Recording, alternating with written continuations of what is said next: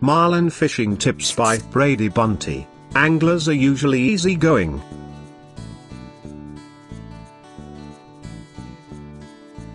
Despite their calm attitude however, all anglers have one secret yearning, to score the biggest catch of the day, and it does not come any bigger than the marlin. As the first million dollar prize winner of the 2003 Bisbee Black and Blue tournament in Mexico, Brady Bunte can attest to how tough marlin are to snare, even when you have the best boat and latest fishing equipment. Here, Brady Bunte offers a few tips to less experienced anglers also looking to score that prize catch.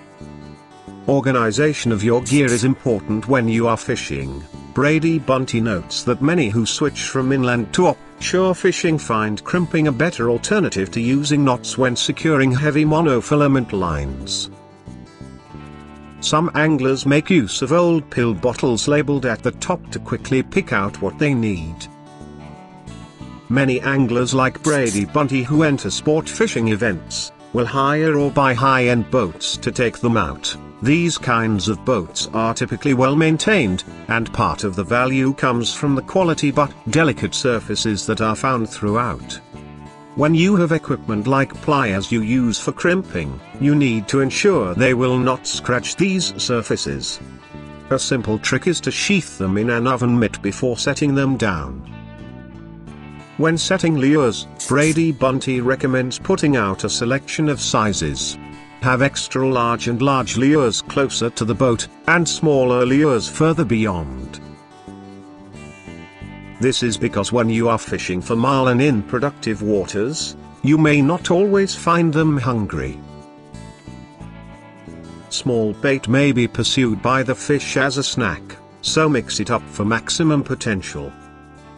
For those who like to sharpen their hooks a bit more, it is a good idea to use a black sharpie to coat this and the rest of the hook. Not only does it camouflage the hook underwater, Brady Bunte has found it is useful in providing a barrier that prevents rust from developing. Live bait is usually less popular in offshore fishing because their use limits the speeds at which the boat can travel but in some cases and areas live bait has been proven to produce better results of a larger catch. Brady Bunte has however noticed that anglers can still score a prize catch if they situate themselves in calm waters teeming with marlin. This is where local knowledge comes in handy in identifying hot spots.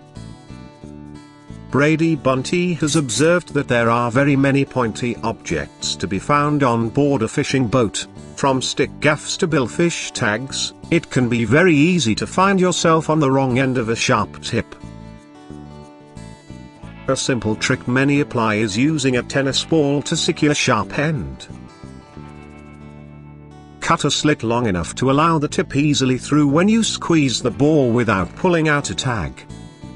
In fishing, it pays to understand the mentality of your prey. For instance, Brady Bunte has found that striped marlin tend to be far more easily annoyed than their larger blue marlin cousins. This weakness can be used against them.